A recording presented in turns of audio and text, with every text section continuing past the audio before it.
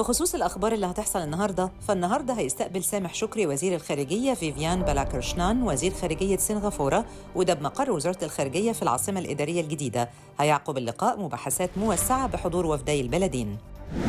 النهارده هتنطلق فعاليات الليلة السادسة من برنامج هل هلالك اللي بيقيمه قطاع شؤون الإنتاج الثقافي في الثامنة والنصف ليلا على مسرح ساحة مركز الهناجر للفنون. وبيقدم المركز القومي للمسرح والموسيقى والفنون الشعبية حفل موسيقي غنائي لفرقة المركز الموسيقية.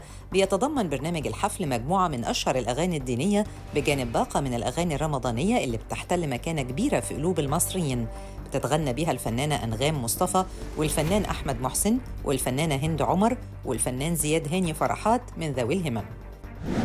النهارده العشاء الكرة العالمية موعدهم مع مباراة قوية في إطار بطولة كأس العاصمة الودية حيث يلتقي منتخب تونس مع نظيره الكرواتي في العاشرة ليلا على ملعب القاهرة الدولي ضمن مباريات الدور الأول.